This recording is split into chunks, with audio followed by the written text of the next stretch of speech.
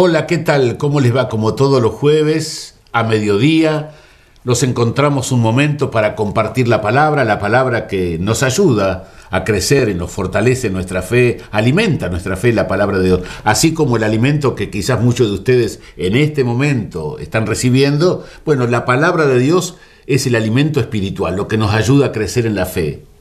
El próximo martes y miércoles 1 y 2 de noviembre celebramos dos acontecimientos muy tradicionales en la iglesia y en la sociedad nuestra no cristiana. Es el Día de Todos los Santos, el primero, y la conmemoración de los fieles difuntos, el día 2 de noviembre. ¿no? Dos fechas litúrgicas que van muy unidas una con otra. Primero nos hace mirar al cielo, el primero de noviembre. Recordamos a todos los santos. ¿Quiénes son los santos? Aquellos hombres y mujeres que han vivido la palabra de Dios. Aquellos hombres y mujeres que han realizado en sus vidas el testimonio del Señor resucitado. Aquellos hombres y mujeres que han trabajado, luchado, anunciado y proclamado también la palabra de Dios con el testimonio de su vida, los santos. Por eso es una invitación a mirar al cielo, el día de todos los santos, porque nosotros queremos ser santos. Sean santos, dice Jesús. Él nos manda como mi Padre y yo somos santos, ¿no? Como Él es santo, nosotros tenemos, estamos, nuestra vocación es a la santidad. ¿Y qué significa la santidad? Estar en el cielo junto a Dios. ¿Quién no quiere estar en el cielo? ¿Quién de nosotros no quiere estar junto a Dios en el cielo? Esa es ser santo, estar en el cielo. ¿Y cómo se logra esa santidad?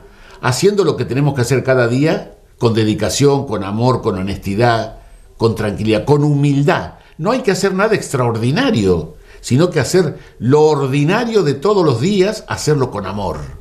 Ese es el camino a la santidad, hacerlo con amor, a Dios y al prójimo. Y entonces ese nos hace elevar la mirada al cielo, pero también el día 2 recordamos a los difuntos, a los fieles difuntos, ¿no? Recordamos que para llegar a esa santidad, para llegar a ese cielo, necesitamos antes ese paso doloroso que se llama muerte. Por eso celebramos el Día de todos los fieles difuntos. ¿no? Quería compartir con ustedes la palabra de Dios en este día para que nos vaya ambientando. ¿no? El, el Evangelio de San Juan capítulo 11, que nos habla de la resurrección de Lázaro, ¿no? un texto conocido.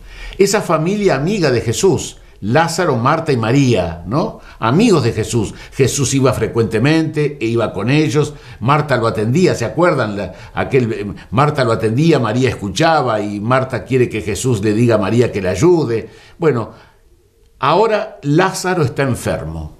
Y dice el Evangelio que Lázaro se había enfermado gravemente y su hermana Marta le manda avisar a Jesús que estaba por la zona, le manda avisar a Jesús que su amigo Lázaro estaba gravemente enfermo. ¿eh? Y dice que cuando Jesús llegó, cuando Jesús pasado tres días, no fue, dice inmediatamente cuando le avisó Marta, sino que pasaron tres días y, y fue a, a Betania. Cuando Jesús llegó, se encontró con que Lázaro estaba sepultado desde hacía cuatro días. Betania distaba de Jerusalén unos tres kilómetros, estaba cerca. Muchos judíos habían ido a consolar a Marta y a María por la muerte de su hermano. Al enterarse, dice el Evangelio de San Juan, que Jesús llegaba, la que sale al encuentro Marta. María se queda llorando en su casa, consolada por los vecinos, y lo primero que hace Marta es como una especie de reproche, aunque ella tenía fe, pero le reprocha a Jesús. ¿Qué le dice? Le dice, si hubieras estado aquí, mi hermano no habría muerto. Esa actitud de Marta la tenemos también muchas veces nosotros ante el dolor que nos produce la muerte. ¿Por qué Dios permitió esto? ¿Qué se puede decir ante el dolor de una madre que ha perdido un hijo? ¿Qué se puede decir ante el dolor de los hijos, de los padres, el padre, la madre, de los hermanos? ¿Qué se puede decir? A veces la muerte nos abruma, el dolor, el dolor es terrible ante la muerte. Por eso Marta sale con el corazón herido y sale con el corazón eh, a, sangre, a sangre viva, ¿no? Ese Marta que sale con su corazón sangrante de dolor, su hermano había muerto. Ella había, cuando enfermó, le manda avisar a Jesús, pero él no viene. Viene cuatro días después y por eso Marta le dice, si hubieras estado aquí, mi hermano no habría muerto. Sé que todo lo que tú pidas, hace un acto de fe, Marta, al Padre él te lo dará. Y él le dice, tu hermano resucitará. Y ella le contesta diciéndole, sí, sé que resucitará en el último día, pero yo quería que no se muriera ahora. Ahora no quería que se muriera. Y Jesús le dijo, Marta, yo soy la resurrección y la vida. Y el que cree en mí, aunque muera, vivirá. Y todo el que vive y cree en mí, no morirá jamás. ¿Crees esto? Le dice Jesús a Marta. Ella le respondió, Sí, Señor, creo que tú eres el Mesías, el Hijo de Dios, el que debía venir al mundo. Marta le dice Jesús, yo soy la resurrección y la vida, y el que cree en mí, aunque muera, vivirá. ¿Qué quiere decir esto? Quiere decir que ese paso que damos nosotros, de esta vida a la otra vida, ese paso que es la muerte, doloroso para los que nos quedamos de este lado, el corazón herido de dolor, ¿no? Nos quedamos de este lado, nos dice, ese, ese paso doloroso es el momento de la vida eterna. El otro paso hacia la eternidad es para siempre y para todo. Viviremos eternamente en el cielo junto al Señor. Por eso dice Jesús, yo soy la resurrección y la vida. El que cree en mí, el que vive según la palabra, el que vive según el Evangelio, el que vive en la caridad, el que cree verdaderamente en Jesucristo, tendrá la vida eterna, no morirá jamás. ¿Crees esto? le dice Jesús. Sí, Señor, creo que tú eres la resurrección y la vida.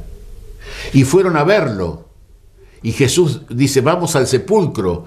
Y, vamos, y llegan al sepulcro. Manda a llamar a María, que estaba llorando en su casa. Y entonces dice Jesús, corran la piedra.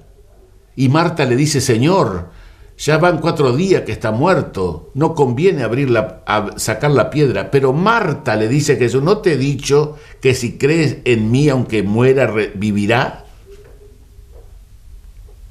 Y Jesús le dice, Lázaro, levántate. Y delante de todos, Lázaro comienza a caminar. Jesús es la resurrección y la vida. Por eso, en esta conmemoración de los fieles difuntos, que vamos a celebrar este, el 2 de noviembre, recordemos a nuestros difuntos, recemos por ellos, para que estén gozando de la vida eterna, para que el Señor, que es la resurrección y la vida, los tenga junto a Él en el cielo. Eso creemos, eso esperamos y para eso trabajamos en este mundo, ¿no? Es seguir el camino de Jesús. Los invitamos para que celebremos. En San Pablo vamos a tener la misa el primero de con fieles de, todos los santos y el día 2 conmemoración de los fieles difuntos, vamos a tener la misa a las 19 horas.